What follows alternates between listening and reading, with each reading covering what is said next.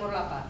Eh, hay una serie de actividades que están previstas, que se van a hacer en todos los grupos del centro eh, y dura, esta actividad en concreto dura dos horas. La vais a tener conmigo y luego la vais a continuar con Gloria. ¿eh? Bueno, se trata de que primero vamos a ver una serie de imágenes y luego en equipo, ¿vale? Lo tenéis que hacer serio, ¿eh? porque si no, no lo hacemos. Tenéis que ir siguiendo cada uno de los pasos que os aparecen aquí en las fichitas que os voy a entregar por equipo.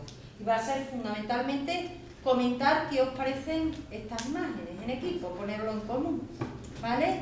Luego también tenemos otras actividades, otras tareas que son comentar una serie de testimonios personales, de documentos que os voy a entregar y en la hora siguiente con Gloria haréis un debate sobre el tema y bueno, con eso ya vamos por cerrar la actividad, ¿de acuerdo? Antes y después de un buen día, mirar cómo quedaría, ¿lo ves? ¿Vale? A ver, comprar, ¿vale? Mirar cómo queda, el estado que queda, ¿vale? Bueno, y el parque donde pasabas las tardes con tus amigos, ahora es esto, ¿vale? Pues poneros en situación, imaginaos que estáis O, por ejemplo, mirar vuestra urbanización, ¿vale? ¿Cómo quedaría? ¿Vale? ¿Eh? A ver, mirad, por ejemplo, el bar en el que ibais a comer de vez en cuando con vuestra familia, ya no está, mirad lo que ha quedado del bar, ¿vale? O, por ejemplo, al llegar a casa os encontráis a vuestros hermanos en este estado, ¿vale? O, y encima, para colmo, no podéis llevarlos al hospital porque el hospital se ha quedado convertido en ese amasijo que veis, ¿vale? Bueno, ya está. Y lo último, ya lo peor de todo, lo que no tiene remedio, es el caso de un amigo vuestro que cuando bueno, llega a casa descubre que no va a volver a ver a su hermana, ¿vale? Eso es ya lo peor de todo.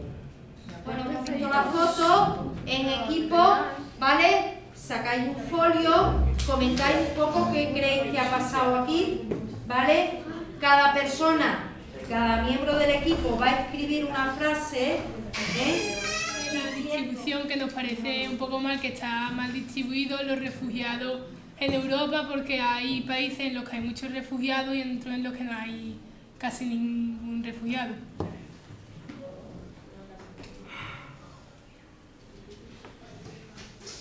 Me parece muy mala distribución que ha habido en, en, Europa por la Unión Europea porque hay mucha descompensación. En España hay muy pocos, en Francia también, en Alemania hay muchísimos, en Turquía también y es muy, muy, muy mal. Yo pienso que debería de haber más refugiados, pero tampoco tanto porque al igual que en ese país hay muchos problemas, en España también hay ya varios problemas y sobre todo si los españoles estamos la mitad en paro, van a entrar más gente, entonces va a haber más también españoles en paro y esas personas también en paro, o sea que estamos venido a un país en el que estamos en crisis con poquísima economía y van a estar igual que en otro lado. Pero tampoco, tampoco le, le, podemos dejar muriéndose en su país. Pero o sea, no tienen casa, no tienen casa ni trabajo, entonces van a para nada igual, porque aquí no van a tirar ninguna para la cabeza. Vale, es la única diferencia. Luego van a entrar refugiados a España, pero también a otros países de la Unión Europea equitativamente.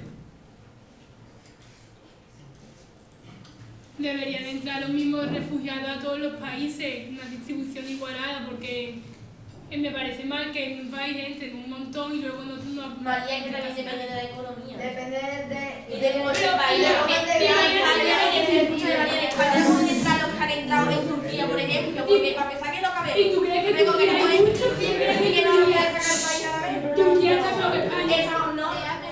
que mi compañera ha dicho que es mejor que, que se queden en sus países allí bombardeando y yo pienso que es mejor que se vengan a los campos de refugiados y así pueden encontrar trabajo y tener más higiene que allí en el... Mira, serio, yo no he dicho que se queden en sus países, porque eso te lo has sacado de donde tú quieras. Yo no he dicho que se queden allí. Yo he dicho que se vayan a otros países con más economía y con mejor desarrollo. Pero porque